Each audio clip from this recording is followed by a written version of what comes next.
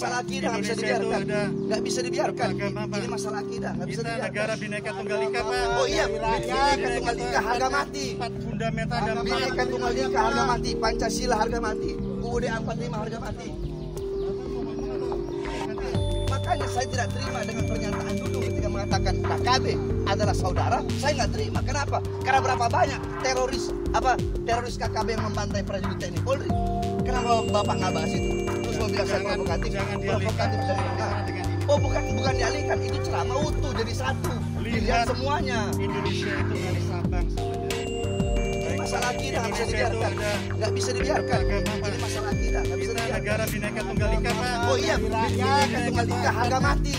Bineka tunggal ika harga mati, Pancasila harga mati, UUD 45 harga mati. Makanya saya tidak terima dengan pernyataan Dudung ketika mengatakan KKB adalah saudara. Saya nggak terima. Kenapa? Karena berapa banyak teroris apa teroris KKB yang membantai prajurit TNI Polri? Kenapa bapak nggak bahas itu? Terus mau bilang saya provokatif? jangan Provokatif dari mana? Oh bukan, jangan takut-takutin masyarakat.